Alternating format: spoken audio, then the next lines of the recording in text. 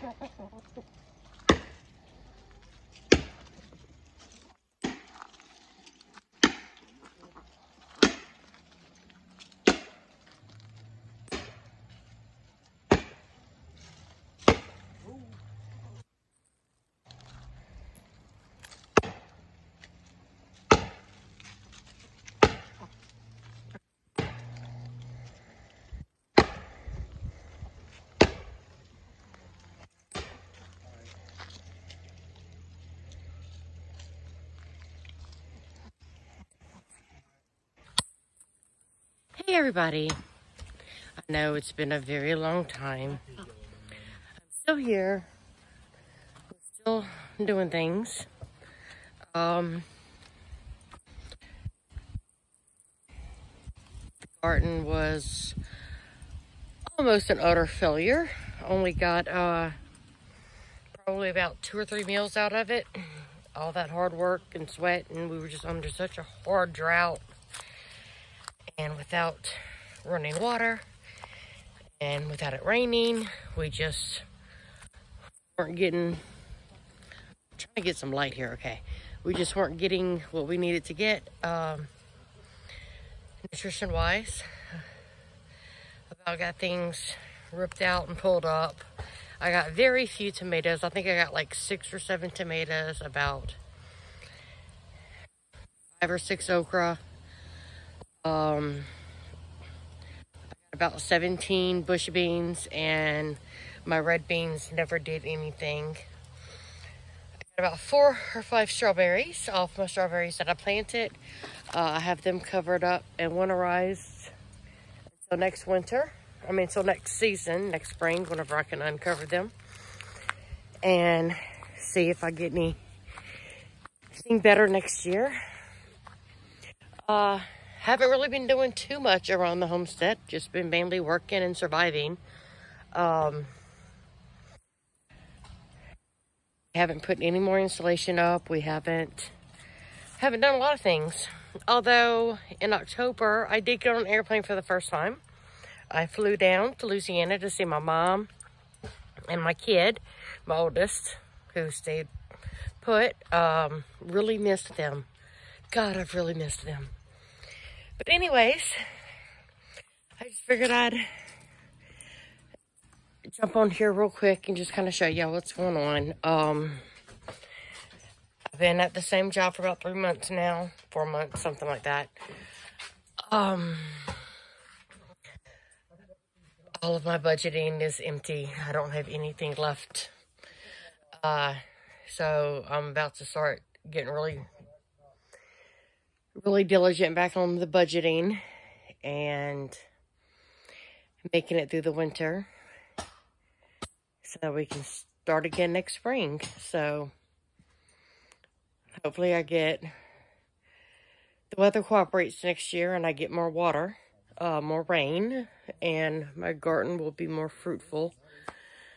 Um, I believe my apple trees have passed on. Um, I'm not sure yet.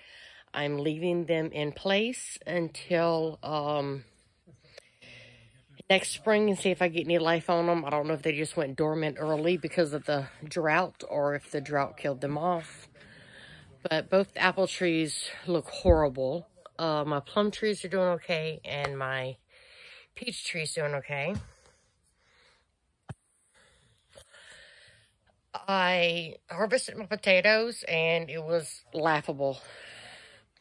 I was able to fit all of my potatoes in one hand. Out of after planting what 30 pounds of potatoes, 20, 30 pounds, something like that, 40 pounds. I don't even remember anymore.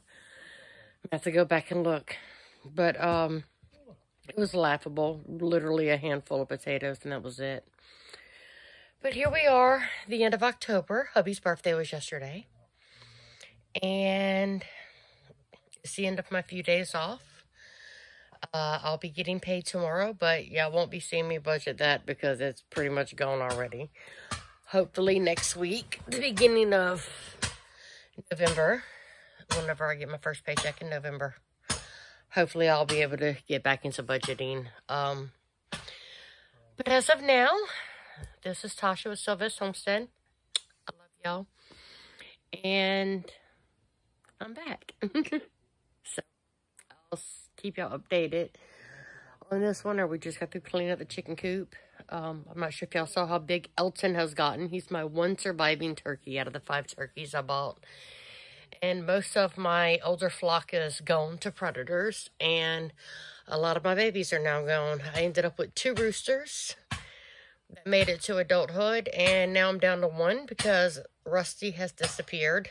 He left sometime in this last week. He disappeared.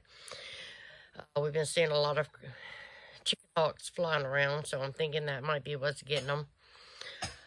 Uh, Elton is my one surviving turkey.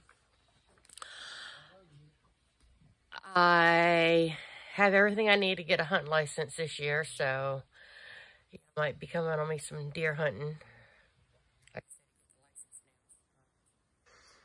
Probably pull that out of some of the money I can get paid tomorrow. Uh, get me an all-around hunt license, fishing license, and then give me a couple deer tags. Maybe a turkey tag or two. I do have Elton. He might call me in some females, so I might end up with a turkey or two. My husband doesn't quite want to process him yet, so I'll probably keep him around for a couple years and see if he brings in some girls. If he brings in some ladies, then that'll be good enough for me, and we'll keep him around. He'll be worth feeding. But if he doesn't, then he's dinner. Anyways, we're going to give y'all a quick update, let y'all know that I'm still here, I'm still alive, and we're still on this journey. Uh, we've just went from doing things to just surviving. So, here we are surviving. Love you. Bye.